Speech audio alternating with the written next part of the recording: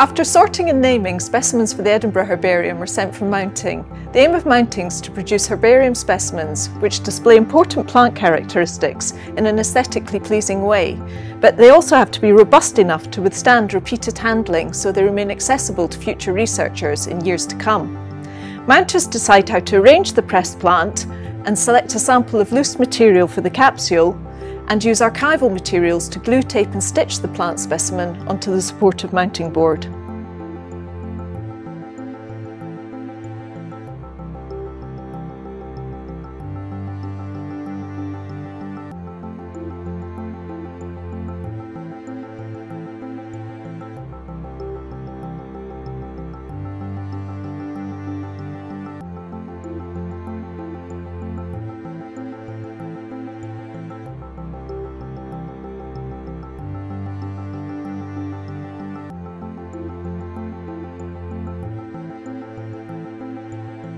Begin by arranging the plant specimen on the mounting card with the label in the bottom right hand corner.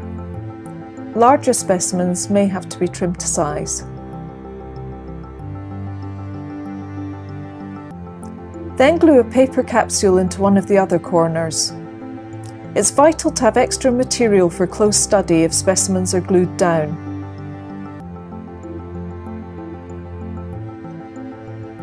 Put any loose plant fragments in the capsule, and if there are plenty fruit, seeds or flowers, take a sample, preferably from the back.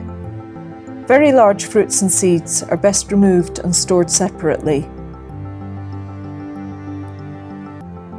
The paperclip holds the capsule shut while you work on it and can be removed after.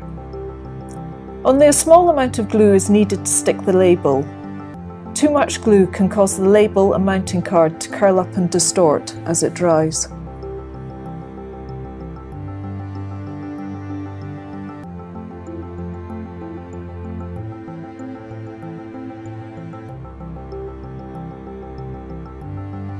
Next, glue the plant specimen itself. Different types of plant material will need more or less glue. The glue can be thinned if necessary with a little water. Take care to avoid getting glue on the front of the plant as dried glue can mask important surface details.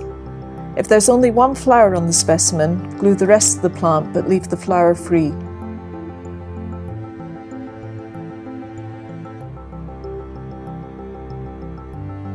Position the plant specimen on the mounting card and use a clean brush and water to gently remove any excess glue. Cover the specimen with non-stick paper and soft card and leave it to dry. Several specimens can be stacked under one weight if the plants are flat. Bulky specimens are best kept separate to avoid distorting others. Once the glue is dry, the plant specimens can be stitched and taped to further secure them to the mounting card. For woody stems, punch guide holes and make a stitch every 8 to 10 centimetres. Bulky roots and fruits can also be stitched.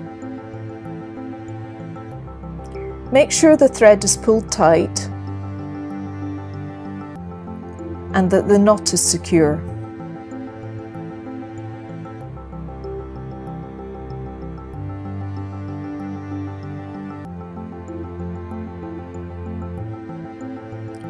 A square of gummed paper tape over the knot prevents damage to the specimen stored underneath it.